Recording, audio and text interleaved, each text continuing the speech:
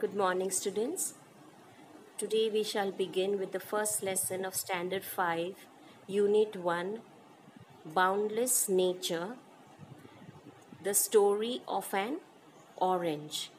Boundless means something unlimited, that nature gives us something unlimited. As we just read, it is a story of an orange. You can see a picture of an orange. This is a gift of nature, which we uh, often eat and it provides vitamin C. So, this is a boundless gift of nature. So, we begin. Nobody knows exactly from where the oranges came, though Southeast Asia is thought to be its first home. Nobody knows from where these oranges started growing. Uh, though it has come, it is thought that it is first home is in Southeast Asia. Southeast Asia, the climate where it is little warmer. So it is said that it was thought that oranges first came from Southeast Asia.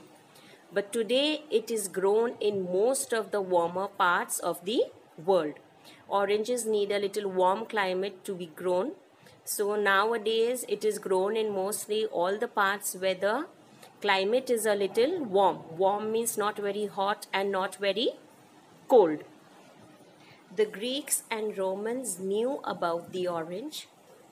It is possible that the orange was carried from india to western asia and then to europe. In the olden days when the greeks and the romans were there that 1700 years where they ruled they knew about this fruit and it is uh, thought that they had carried this fruit to the western asia and then it has it was taken to europe now today the orange is the most important fresh fruit in the international trade now orange uh, is become a very famous uh, fruit in the international market because it, it provides vitamin C and it, it is an untouched fruit. Untouched fruit because uh, it has a whole skin on its uh, fruit and when you peel it off it is nice and fresh. We need not need to wash it. So it has become a very important fresh fruit. The three chief kinds of oranges are the sweet or common orange, the mandarin orange and the sour or bitter orange.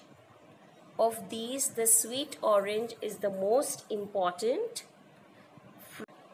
It is after three years that the tree starts bearing fruits. As you can see the picture, the it is not a very huge tree. Only in three years it it is grown up and from after 3 years it starts getting its fruit and this orange which is known as the sweet orange. This is mostly popular among all the different kinds of oranges. You can see the uh, the beautiful uh, orange color and it is the best of all. An interesting kind of sweet orange is called the blood orange. Its pulp is deep red in color and it is grown in the Mediterranean region. And there is a another sweet orange. It, it also has different kinds and one of them is the uh, blood orange. Why it is called the blood orange? Because the pulp inside, when you skin it off, it is deep red in color. So it is called the blood orange. The temple is an orange with a thin loose skin.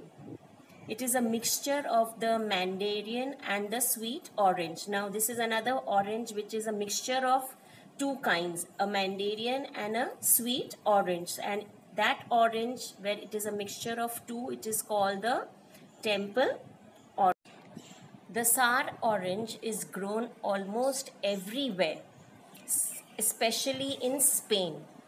The chief use of this orange is to make marmalade since it is too bitter to be eaten as a fruit.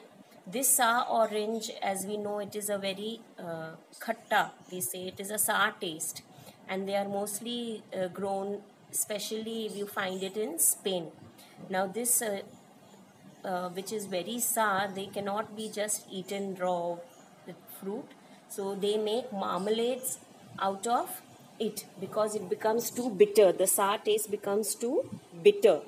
So they make marmalades. Marmalades are different types of jams which are little sour bitter in taste. The orange is a clean fruit. Anyone who touches it only touches the outer covering which can be easily peeled off. As i just said it is a very clean fruit. Why do we say it is a clean fruit? Because it has a whole skin on the fruit. And we have we need to remove the skin and then eat the fruit inside. So it is an untouched fruit a clean fruit.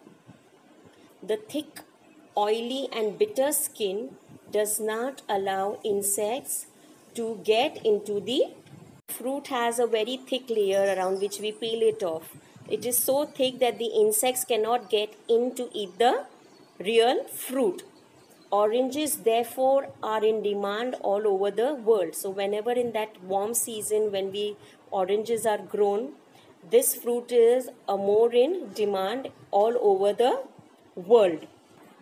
So, here you can see, uh, as it is mentioned in the above paragraph, uh, jams and marmalades were made from sour orange because it is a little bitter in taste. So, jams were prepared, so give it a sweet and uh, a little sweet and a little bitter taste and it can be more easily eatable. So here you can see the picture. There are all different colors. Some are orange some are red some are yellow. So according to the different kinds of oranges the jams and marmalades were made